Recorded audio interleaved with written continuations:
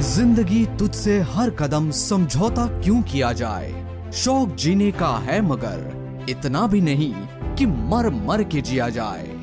कुछ लोग समझौतों पर नहीं, बल्कि अपनी शर्तों पर ज़िंदगी जीने का जज्बा रखते हैं। और ऐसी ही एक ज़िंदा दिल तथा प्रतिभाशाली शख्सियत है मुकेश सिंह जी। आज मुकेश जी ने ये साबित कर दिखाया कि अमूल्य हर्ब से जुड़ने का उनका फैसला एकदम सही था।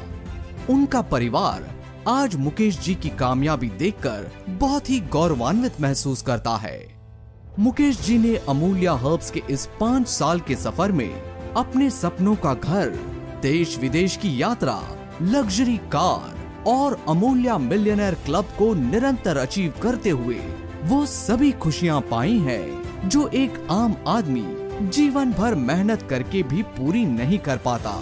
मुकेश जी मानते हैं कि सफलता हमेशा अच्छे विचारों से आती है, और अच्छे विचार अच्छे लोगों के संपर्क से ही आते हैं।